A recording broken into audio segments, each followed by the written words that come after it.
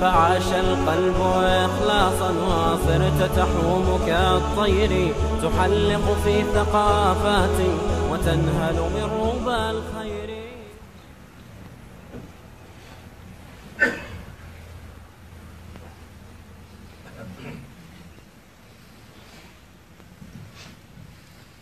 السلام عليكم ورحمة الله وبركاته. بسم الله الرحمن الرحيم، الحمد لله والصلاة والسلام على رسول الله وعلى آله وأصحابه أجمعين.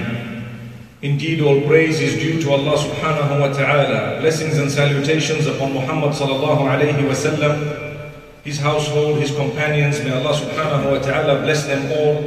And may Allah subhanahu wa ta'ala bless every one of us our loved ones, and the ummah of Rasulullah sallallahu alayhi wasallam.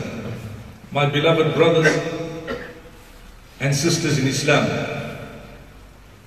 Eid is a day of happiness, and every single one of us is searching for happiness.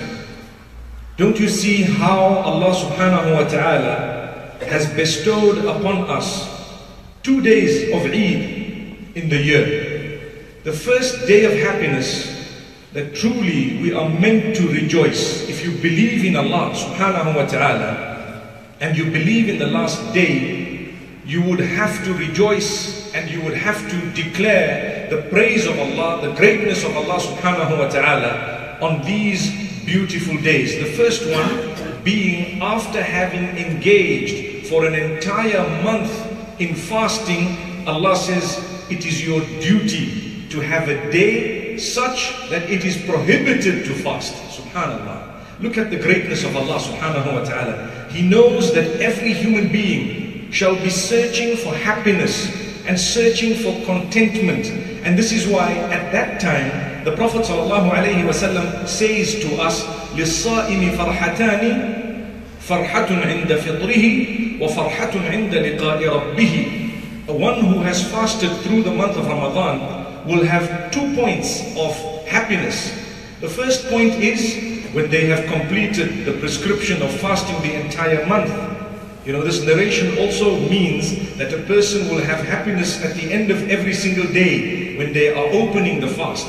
But when the whole of Ramadan is over, they will have the first point of great happiness, that is a day of Eid. And then uh, the same narration says the other point of happiness. What is it referring to? It is referring to the day that they meet with Allah subhanahu wa ta'ala. When I meet with Allah subhanahu wa ta'ala, I will see the joy and the happiness of the ibadah and the acts of worship that I have taken or that I have participated in or engaged in for the sake of Allah subhanahu wa ta'ala. I will see the joy, the happiness, and I will achieve everlasting contentment. The same for every single one of us. May Allah accept from us the fasting that we engage during Ramadan. But very quickly after that, two months and ten days after that, Allah subhanahu wa ta'ala gives us another Eid. Do you know, Ramadan has the best nights of the year. But this month of Dhul Hijjah has the best days of the year. That is the difference. People say the day of Arafah, and indeed it is the best day of the year. But among the nights, the night known as Laylatul Qadr is the best night. So Ramadan is known for its nights. Yes, the days are also auspicious. These days, the 10 that we have just passed, they are known for the days. The nights are also auspicious, subhanAllah. My brothers and sisters, having participated or engaged in so many acts of worship in the last few days, having heard lecture upon lecture, reminder upon reminder to do good deeds because Allah loves good deeds the most during these 10 days, don't you think it is time that we declare a day of greatness, happiness and joy, subhanAllah. I want to be happy, but guess what?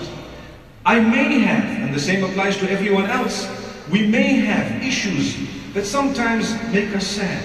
We might have lost a loved one. We might perhaps be struggling with our finances. We might perhaps be struggling in our marriages. In some instances, may Allah make it easy for us. We may be struggling with bad habits. And this is why we are reminded if you would like happiness, there is only one way of doing it. If you want true joy on the day of Eid, there is only one way of achieving that true joy, the feeling within your heart that you know what, I am definitely a happy person, I am content. How is that? It is only and solely by turning to Allah, the one who gave you the day of happiness. Do you really want to taste the happiness of this day? If that is the case, you start off by seeking the forgiveness of Allah. Astaghfirullah. Oh Allah, forgive my shortcomings. Oh Allah, forgive my sins. Forgive that which I've done in the past, that which I know, that which I don't know. Look at Ibrahim alayhi salatu wasalam. These festivities, what we, are be, what we are going through and what we will be, inshallah, participating in, all connected to Ibrahim alayhi salatu wasalam. In a nutshell, what was his life all about? It was about obeying the instruction of Allah, turning to Allah. What did Allah give him in return? He was so happy, so content. Allah subhanahu wa ta'ala elevated his status that years later, not decades, centuries later, more than that perhaps millenniums later, we're remembering him as fresh as ever. As though what happened just happened recently, subhanAllah. Ibrahim alayhi salatu wasalam, his son Ismail alayhi salatu wasalam. Why is it so fresh? Why is it so beautiful for every one of us? We smile when we think of Ibrahim alayhi salam because he was obedient to Allah. That's the reason, subhanahu wa ta'ala. So if I am obedient, if you are obedient, don't you think we would actually get a little bit of what he got? Don't you think we would earn the pleasure of Allah? The owner of happiness, the owner of goodness, the one who has total control over the contentment that I'm searching for in this world and the next. Some people forget Allah, remove Him from the equation. Allah may, subhanahu wa ta'ala, grant them a little bit in terms of this worldly, material life. They may get it, but guess what might happen? They may lose the hereafter if they don't quickly realize that I need to turn back to Allah. And this is why those who were with us last year and are not with us this year, because they've passed on, it's important we remember them. May Allah give them Jannatul Firdaus. But it's not enough to just make dua for them. What is of greater importance, wallahi, is for you and I to remember that next year I may not be here. That is of greater importance. What is of greater importance when a person passes away is for us to take heed, to learn lesson for ourselves. I need to ask myself, what did I learn? Can I say something that every single person here will relate to? Look at how quickly time is going by. A few years ago we were young, we were at school. After that, subhanAllah, we had our friends and so many things happened in our lives. A lot of us got married, mashallah. Most of us have children. May Allah subhanahu wa ta'ala bless those with children, make them the coolness of their eyes, and those who don't have children, may Allah subhanahu wa ta'ala grant you offspring who will be the coolness of your eyes. But look at how 20, 30, 40, 50 years have gone by. We used to call others the old man. Now they are calling us the old man, subhanallah. But we've never realized where we're we going? We're heading towards Allah. There is no other way, no other channel, no other road besides towards Allah. So it's about time we change. It's about time we did good deeds. And Allah says, I am not going to punish you. I am going to give you instructions not to punish you, but to facilitate your living in this world, as well as your living in the grave, which is the time between this life and the next, subhanAllah, after the day of judgment, between death and the day of judgment, subhanAllah, you're going to be in the grave. So Allah subhanahu wa ta'ala says these rules, these regulations will ensure that you are content on earth. You are happy. There will be a lot of rules, a lot of regulations. You follow them, you will be happy. Wherever you have faltered, turn back to Allah subhanahu wa ta'ala. Turn back to Allah. You know what amazes me is when Allah subhanahu wa ta'ala instructed Ibrahim alayhi salam to announce the Hajj. Who was there? There was nobody. To be honest, there was nobody. There were two people who had accepted faith in Allah subhanahu wa ta'ala. And Allah says, announce the Hajj. And there were a few people, subhanAllah, who heard this. Yes, more and more turned to Islam later. But when Ibrahim alayhi salatu wasalam passed away, there were very few people who had accepted Islam. He announced it because he followed the instruction of Allah. The minute he knew that this instruction is coming from Allah subhanahu wa ta'ala, he said, the result is irrelevant. What I need to do is to do what Allah has instructed me.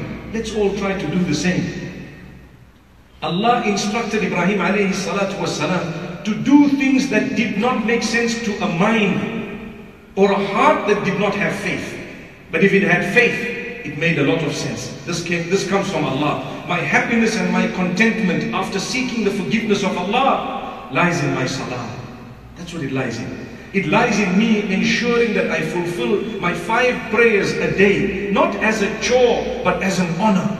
I feel I want to do this. It is a pleasure. I take my time when I fulfill salah. You will notice the beauty. You will feel the serenity. You will feel the comfort. You will feel every good feeling because you know that you have actually obeyed Allah's instruction.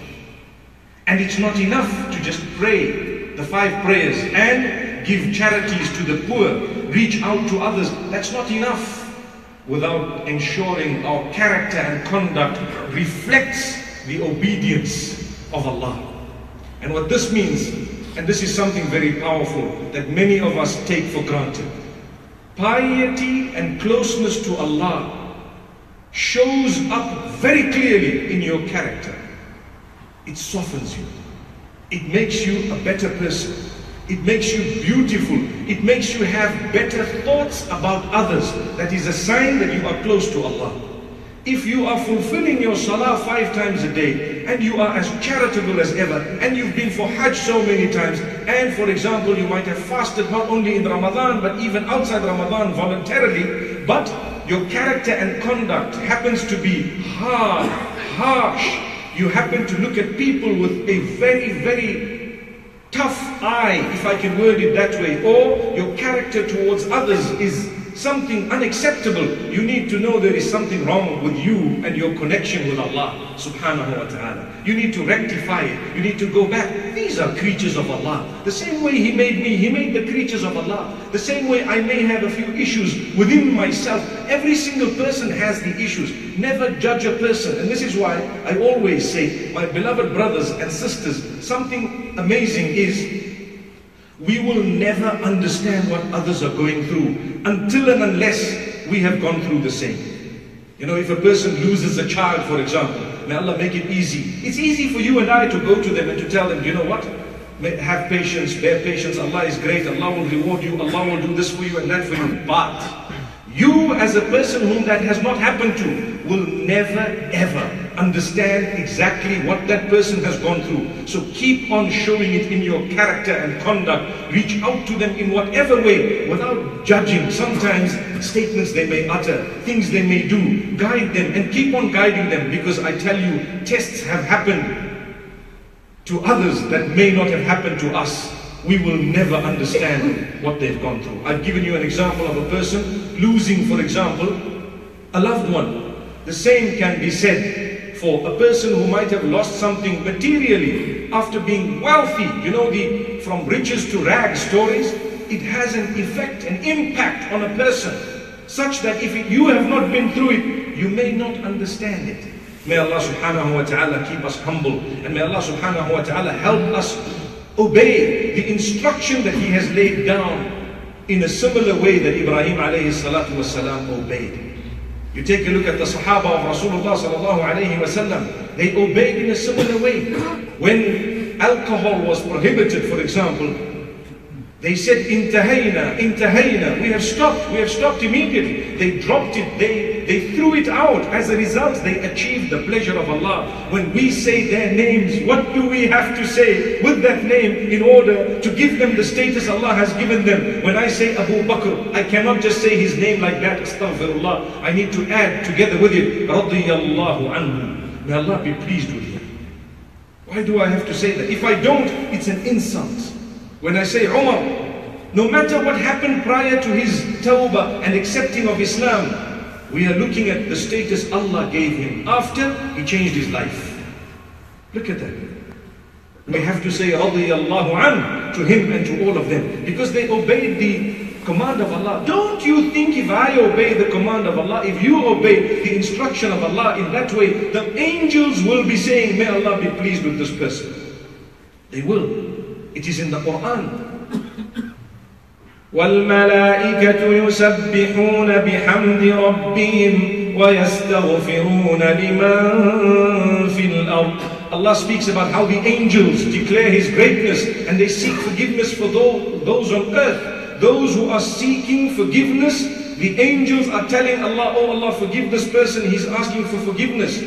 فاغفر للذين تابوا واتبعوا سبيلك The angels are saying, Oh Allah, forgive those who are seeking forgiveness and who are trying to follow your path. Forgive them. Imagine the angels saying something about you and I. May Allah forgive our sins. May Allah have mercy on us. May Allah grant us contentment. So I started off by saying, if you want contentment, you seek the happiness, or you seek, sorry, you seek the forgiveness of Allah subhanahu wa ta'ala. So Allah becomes pleased with you. You fulfill your prayers, your obligations unto Allah, so that Allah becomes pleased with you. And so that your connection with Allah is exactly as per the connection of those predecessors of ours who were pious, subhanAllah. When Allah instructed, they immediately, they immediately fulfilled. So now I've sought the forgiveness of Allah subhanahu wa ta'ala. I, am also fulfilling my obligations unto my Maker. One more thing, and I've already spoken about it fulfill your obligations unto the rest of the creatures of the same maker. If you can understand, when Allah creates people around you, He creates them for a reason. They are part and parcel of your test. He knows who He was going to make your neighbor, someone in your community, your society, your spouse, your parents, your children. Every one of them was chosen by Allah for you and your examination, your test. It's not a mistake. So when they do bad to you, it's because Allah is testing you. That's your examination question. You need to pass the test. If it is really bad, you might want to walk away in an honorable way. You don't walk away swearing so that you also dropped with those who have dropped or those who were low. No. If someone is so low that there is no goodness in them, the minimum a believer does is he says peace and he walks on. Subhanallah. But that was a test for you. When Allah did something to you, it was yours, tailor-made for you. And this is why Allah says, when we made you, we did not just make you, we made with you an entire creation. Things you will know, and certain things you won't even know, subhanAllah. So this is the, the creation of Allah subhanahu wa ta'ala. That was His plan. So therefore, my brothers and sisters, let's develop our character, our conduct. Wallahi, it's a day of Eid. Improve the way you speak to others. Improve your thoughts the way you feel towards others. Start having good feelings, subhanAllah. It will make you a happier person. Learn to release. You want the forgiveness of Allah? Forgive others. Open your heart, open your mind, and you will see what will happen. The day of Eid will become so beautiful. Brothers amongst us, I'm talking of blood brothers amongst us. We don't speak to each other for years on end because we've had a misunderstanding. I'm sure we can resolve that. It's a day of happiness. Pick up the phone, no matter where they are on the globe. Be the bigger one, subhanAllah. You rise above it, phone, and tell them, you know what, it's a day of Eid. We've just heard a beautiful reminder, and if we like happiness, we need to seek forgiveness and learn to forgive. I was wrong, forgive me. Be the bigger one, subhanAllah. May Allah subhanahu wa ta'ala grant us ease. Some might be saying it's easier said than done. I do agree. And that's why you get such a great reward. Because obviously for me to say it is one thing, but to execute it, sometimes a person is owed $2,000, for example, by someone else. And then they'll call you and say, did you hear the talk this morning? Yes, I did. Well, are you going to forgive me? I've forgiven you, my brother, but you still need to give me the 2000. MashaAllah, tabarakallah. It's not a matter of giving up your right. If there is a right, you are owed it, subhanAllah. You have every right to ask for it. You have every right to demand it in a beautiful way, but you do not have the right to become ugly as a result of someone owing you something or someone having oppressed you. When a person swears you, if you would like happiness on a day like this, guess what you should be doing? Let's go back to Ramadan and look at the hadith. The Prophet ﷺ says, when you are fasting, someone swears you, فَإِن سَابَهُ أَحَدٌ فَلْيَقُلْ إِنِّي صَائِرٌ if someone swears the person who's fasting, the hadith says he should just say, look, I'm fasting. You don't swear back in return because you know you're going to spoil your fast. The same applies. Your contentment, your happiness will be spoiled when you become low with those who are already low. May Allah subhanahu wa ta'ala grant us goodness. So, today, I'm going to take it upon myself and I'm calling upon every one of you to think about and execute an improvement in the way we speak to people, our family members. Say beautiful words. Make them happy. Do you know, إِدْخَالُ السُّرُورِ فِي قَلْبِ الْمُؤْمِنِ to actually instill happiness in the heart of a believer is such a great act of worship that I sometimes sit and think, what about if it was my own family members? Subhanallah. Because charity begins at home. That rule applies in Islam as well. The hadith speaks about it. You want goodness, start at home. And then you, the circle becomes wider. But if you were not to begin at home, what do you expect? So let's go home, let's say the most beautiful words and let's say words in a way that we mean them. You know, you get to someone, Eid Mubarak, they look at you, Eid Mubarak, Eid Mubarak, hey brother, Eid Mubarak, breaking a smile, you know. There's a way of saying things, subhanAllah. You will get a reward for having smiled. That smile will make someone else smile, so you get a reward for the smile of the other person too. And you know what? It goes on and on and on. Who gets the reward? Every one of us. It's amazing. May Allah subhanahu wa ta'ala bless us. So I wanted to spend these moments on this beautiful occasion reminding us to develop our link with Allah and our link with the rest of the creatures of Allah should be correct if we'd like to achieve the happiness of this day, truly. It's a day that we would be engaging in an act of worship that is extra. Every time there is a day of happiness, there's something extra. We're about to fulfill the Salah of Eid and at the same time we are all going to, inshallah, either sacrifice an animal or for those who cannot afford it or those whom it's not compulsory upon, they will at least get the feeling of it by receiving something, eating something, seeing something, subhanallah. What is it all about? It is all about Ibrahim alayhi salatu was salam. When he was instructed by Allah subhanahu wa ta'ala to do something, it did not make sense to him. It did not. And it cannot make sense to anyone for someone to give them an instruction to sacrifice their son. It doesn't make sense to anyone. But to Ibrahim alayhi salatu wasalam, the fact that it was confirmed that the instruction came from Allah, that is what mattered. So when he went to fulfill it, Allah says, Subhanallah, you have passed your test, O Ibrahim alayhi salatu wassalam. قد صدقت الرؤيا إنا كذلك نجزي المحسنين Indeed, you have made the instruction of Allah subhanahu wa ta'ala come true, which means you have fulfilled it. The instruction that came to you through the dream you definitely fulfilled it. And this is the way we will recompense those who do good. Why does Allah say this is the way we will re recompense those who do good? Because that instruction goes all the way down to every one of us. My brothers and sisters, when Allah instructed us, He did not say sacrifice your son. If that was the case, perhaps people would be debating. May Allah subhanahu wa ta'ala grant us an understanding. All He is saying, become a better person. Become a person who fulfills his obligations unto Allah. Become a person who solves problems rather than create problems. Become a person who is a role model rather than a person who follows those who perhaps might lead him astray.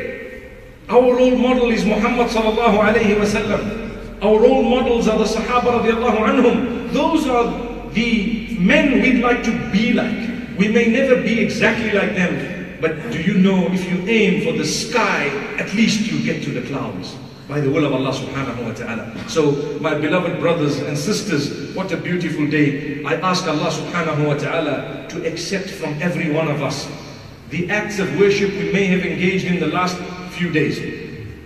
That which we will engage in today, and that which we will be engaging in the last in the next few days. I remind you of a hadith of Rasulullah sallallahu alayhi wasallam regarding this beautiful season. He says, أيام التشريق أيام أكل وشرب وذكر لله تعالى. Never has Islam promoted food. Do you know that?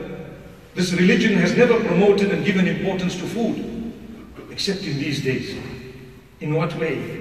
The Prophet says the days of tashriq, and those are the days that we actually read the takbirat in. The days of tashriq are days of eating, drinking, and remembering Allah.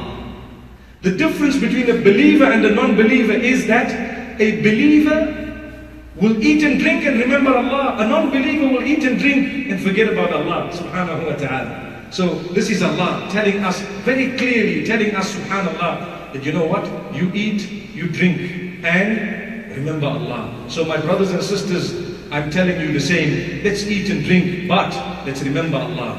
When we, before we put the food in our mouth, we need to remember Allah. And after putting the food in our mouth, we need to remember Allah subhanahu wa ta'ala. When we are hungry, we remember Allah very easily. But when we are full, those who remember Allah subhanahu wa ta'ala are the ones who have succeeded. أقول قولي هذا وصلى الله وسلم وبارك على نبينا محمد سبحان الله بحمده سبحانك اللهم وبحمدك أشهد أن لا